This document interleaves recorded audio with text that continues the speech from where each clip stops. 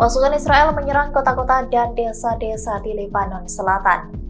Serangan itu dibalas oleh Hizbullah dengan mengerahkan rentetan rudal dan roket. Imbas serangan balasan itu setidaknya tiga wilayah Israel porak-poranda. Dikutip dari Tribunnews.com, Israel menyerang pinggiran kota Al-Hebariyeh dengan menggunakan pesawat tempur. Mereka juga mengerahkan drone dan melancarkan tiga serangan di kota Marwahid. Israel juga menembakkan artileri ke beberapa wilayah lainnya. Tak berselang lama, Hizbullah dilaporkan membalas serangan-serangan Israel itu dengan meluncurkan gelombang serangan ke situs dan permukiman Israel. Media Israel menyebutkan setidaknya empat roket mendarat di permukiman Metula.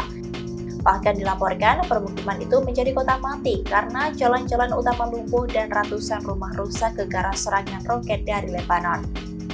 Sedikitnya terdapat 500 rumah dan bangunan rusak akibat serangan Hizbullah sejak awal eskalasi berlangsung. Tak sampai di situ saja, Hizbullah juga dilaporkan melancarkan serangan ke permukiman Marikaliot dan Kiryat Smona. Tembakan langsung imbas serangan Hizbullah itu memicu sirene peringatan meraung-raung di kedua permukiman tersebut.